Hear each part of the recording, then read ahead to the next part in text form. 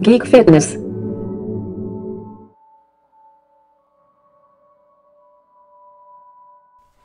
Hey everyone, it's Robert. Welcome back to another episode of Geek Fitness. And today I will reveal the fourth most important thing I have done to lose 68 pounds.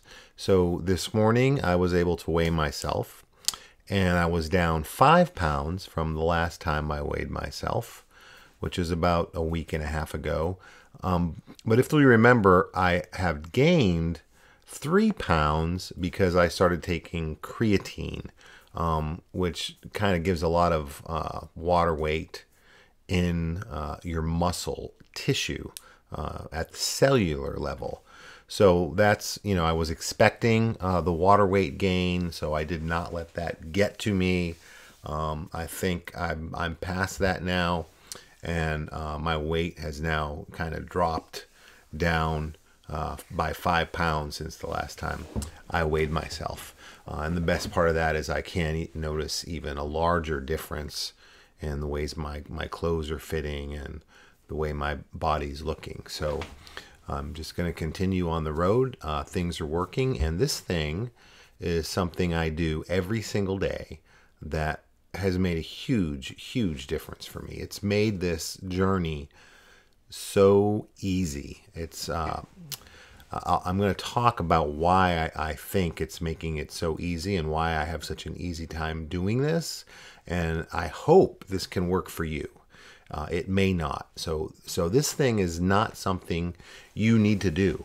Uh, in fact, there are many other systems, many other diet plans, many other lifestyles uh, that may be more successful for you uh, that you probably need to do. Um, but this is something I think everyone should try to see if it's something that works for them.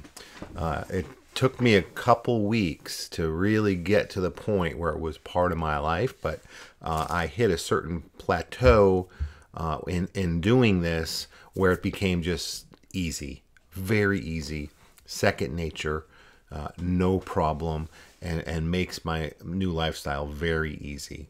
Uh, so the thing I'm talking about, you may have heard about it. It's kind of all the rage now uh, in Silicon Valley. And for me, it has really worked, and it's intermittent fasting. So, you know, when I started my plan to lose weight, I didn't know what I was going to do. So I basically just ordered Nutrisystem. Uh, I know a lot of people have used it, have had success with it. I had success with it. I did it for about a month by the book. I lost a good deal of weight. It really got me jump started.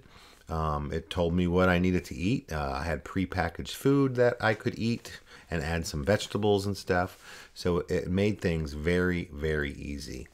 But it was a it was a thing where you were eating very small meals, like tiny little meals, uh, you know, three meals a day plus two snacks. So you were eating. I was eating like five times a day. So this is good for some people because it, it can keep your insulin level steady, but your insulin level will be up for most of the day, but it will will keep your insulin level steady. Uh, but I think my problem with it, and that's not a problem for some people, they like this better.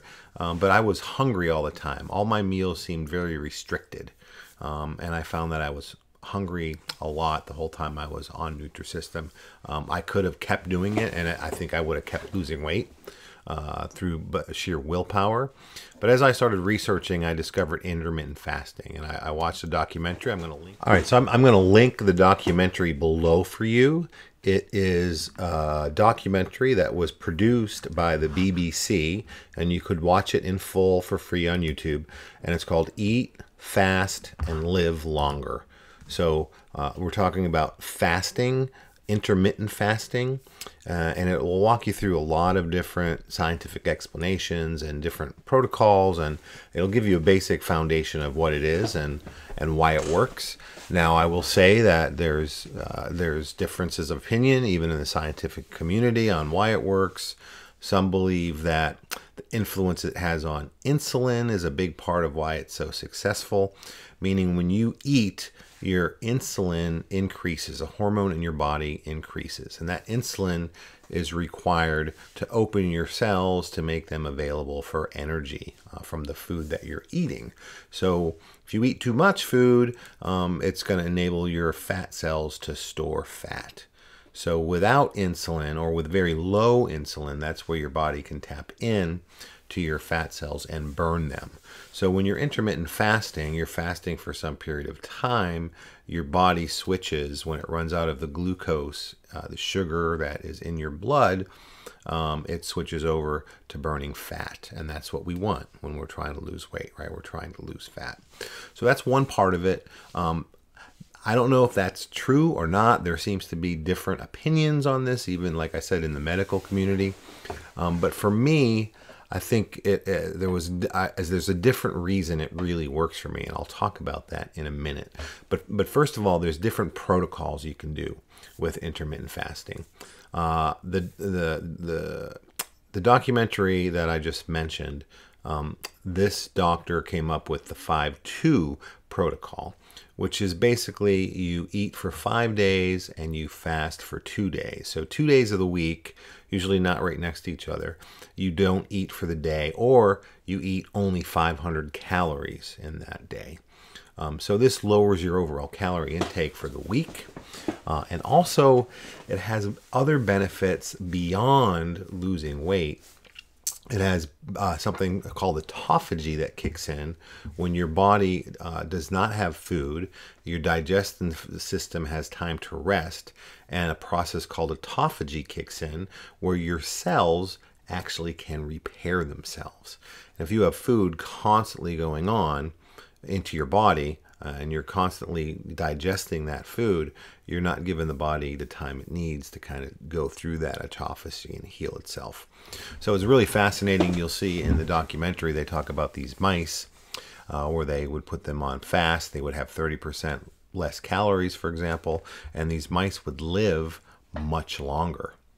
So there's evidence to support the belief that by reducing your calorie intake, especially through fasting, that you can greatly reduce your risk of cancer and you can greatly improve uh, increase your lifespan as well. So lots of great information out there on autophagy and how fasting impacts autophagy. Definitely worth looking into. Um, I believe it because when I started fasting, my skin cleared up. Um, you know, I felt better. My mind became more clear lots of things that I noticed of my health improving, not just losing weight, uh, but how healthy I felt, how healthy I looked, my skin, my hair, my nails, you know, all that stuff uh, really started to improve when I started doing intermittent fasting. So, besides the 5 2 protocol, there's also uh, protocols like 16-8, where I fast for 16 hours and eat within an 8 hour window right? So I might eat from noon. I might skip breakfast and have lunch at noon, and then I will eat no later than 8 o'clock in the evening. So then from 8 o'clock on, I go to bed, say 10, and I wake up at, if I wake up at 8, uh, that's 12 hours I've already fasted. You know, by not eating in that lap before I go, right before I go to bed for those two hours, sleeping right, until 8 o'clock. Uh, I'm at 12. I only have to go four more hours to make it to 16, and I've fasted for 16 hours. And again, at some point during the night, your body's going to run out if you didn't eat too much, right? That's another part of this. You still, I mean, for me, I still had to count my calories and make sure I wasn't overeating during my window. And I would recommend you do that as well. But, uh, you know, so you've got that fasting period where you're giving your body time to switch and start burning fat.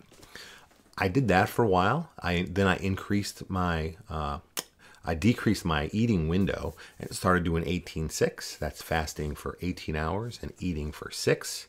Then I went to the warrior diet, which is 20 hours of fasting and a four hour window of eating. So I would eat, you know, between like four and eight o'clock. Have my first meal at four and then maybe another one at eight o'clock. And now I'm only doing uh, I'm only eating within a four hour window and my giving my body 20 hours uh, to you know live off of the fat that is still on my body and go into autophagy. So the longer you go, the more autophagy you're going to gain through fasting. Uh, so uh, also I've done OMAD, which is one meal a day, where I don't eat anything. I just eat one meal, a big meal. Um, you know, within an hour. Usually, it takes about an hour or so uh, to get that that meal in. So now I kind of switch back and forth. Some days I do OMAD, which is one meal a day. Some days I do the warrior diet. Some days I do 18-6, usually depending on what's going on and what the schedule is and you know, you know how I'm feeling and that that kind of stuff. But I am intermittent fasting every day and it's made a huge impact for me. I think um, besides the, the hormone things that some people think are a reason that intermittent fasting really works, some very uh, important things not to overlook on why this works is the shorter your window, the harder it is to overeat, right? For me, you can only get so much in in a smaller window, right? So if I'm eating 2,000 calories a day, right? Um, before my diet, I was eating 4,000, 5,000 calories throughout the day. But if I'm if I go on a diet and eat 2,000 calories a day and split it up between five little meals, right? That's not a lot of calories per meal that I'm getting. If I cut that down to two meals, right, and I'm eating 2,000 calories a day, now I'm having thousand calorie meals, two of them. So I can really eat. I can have big, satisfying meals. I, I just try to focus and make sure they're healthy ones. I don't want to go eat, you know, McDonald's. I don't want to go eat, you know, pizza and chips.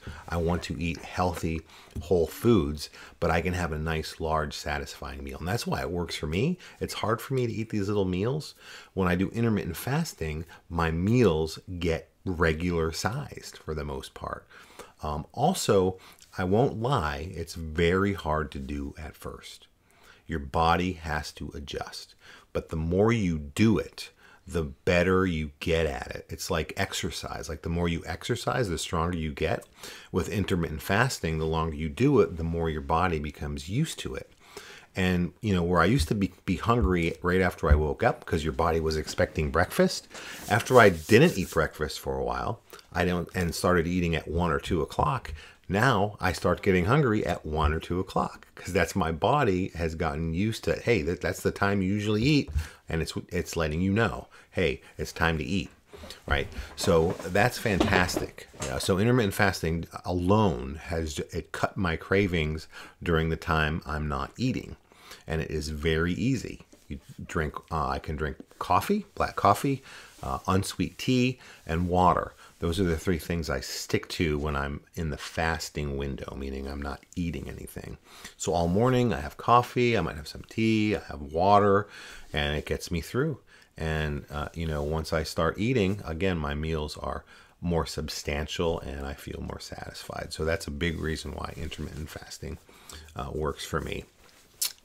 Also, when you start fasting and doing intermittent fasting, food will taste amazing. The you know, there's a, there's a quote that says the best spice in the world is hunger, and it's absolutely true. If you go for a long period of time without eating anything, and then you sit down and say eat I don't know, a tomato. It's the best thing you've ever had, and it's one healthy ingredient. So, a big benefit for me is because I can now really appreciate the tastes and flavors and textures of, of, of real food. Um, I can eat healthy and really enjoy it. It's also killed my cravings for sugar. It's killed my cravings for salt. Uh, I don't have cravings for that stuff anymore. Um, I kind of have cravings now for healthy food. And when I eat healthy food now, because I've gone so long each day without eating anything, it's delicious and it is satisfying. So that's a big reason why intermittent fasting has definitely worked for me in a very big way. Um, so you know, and, and and it comes right down to it. Um, you know, it's all about you know how much calories you're putting in your body and how much you're burning And like I said, it's much harder to overeat your calorie goal when you're cutting your window down uh, for the time that you will actually be eating food. So it helps me reduce the amount of calories I eat. When I do eat, I'm able to eat bigger meals and feel very satisfied. And it makes the food I do eat way more delicious so I can focus on making sure I'm eating healthy meals, whole grains, fruits, vegetables, lean meats, those kinds of things, um, instead of pizza and chips and and all that. so, uh, and one more benefit to this is when I, if I do go out for dinner, for if I know I'm going out for dinner on a Friday, for example, I might even skip lunch and do the one meal a day for that day. So then when I go out to a restaurant, I don't have to worry so much about what am I going to order you know how much is calories is that dressing gonna have you know do i have to have you know the garden salad and some cottage cheese or the you know do, do they have a diet plate you can pretty much order just about anything you want if you're having just one meal a day because even the biggest restaurant meals aren't gonna be crazy right you st- i still think you want to make healthy choices like i want to order uh, chicken breast or salmon or a steak, you know, with a side of vegetables, for example. Um, I don't want to order, uh, you know, the, the, uh, a big, you know, piece of lasagna and have pie for dessert with ice cream, and you know, I, I still want to try to make healthy choices. But you can you can go out to restaurants and not worry about it as much when you do one meal a day. So I hope this is helpful. Again, intermittent fasting is not something you need to do to lose weight. You can do many small meals a day throughout the day, like programs like you know Nutrisystem or, or Jenny Craig will will provide you. Uh, you can do three meals a day, like a regular thing, and cut out snacks and reduce your calories that way. Uh, there's this is not something you need to do, but for me, it's something that absolutely has made it so easy for me, and I can do this for the rest of my life. That's how easy it is. So hopefully, if it sounds like something that you might be able to do, I would highly recommend you give it a try. Just make sure you combine it with the other uh, things that I have done on my Geek Fitness plan. Uh, I think if you do those, the, the first four things that I've talked about, you're going to be well on your way. That's one, you've got to have purpose, right? You got to have a reason to lose weight that's driving you. Um, the second thing is you've got to count your calories. You've got to track them, right? You got to know how many calories are going into your body is a very important thing. Uh, intermittent fasting is a very very uh, helpful tool. For me, it has been. Maybe you're going to have a lot of trouble with it. Maybe you'll be like me and it will, it'll be very hard for a couple weeks, uh, but then it will get easier and easier to where it becomes a part of your life. And then when you combine that intermittent fasting with eat, eating real whole foods and avoiding the processed foods and the sugar, now you've got, you know, you got some things going on that are really not just going to help you lose weight, but your health is going to improve dramatically. So I hope this was helpful. Please let me know if it was. Uh, if you like what I'm doing here, if you're getting any good information, if it's helping you in any way, please uh, like and subscribe to the channel and share it. Uh, if you have any questions, uh, please ask. You know, I'd like at some point maybe to do some uh, live um, you know live streaming events where people can can ask questions. Maybe it'd be better to do th- some things that way. Um, so let me know what you'd like to see. Uh, and thanks for watching. I appreciate it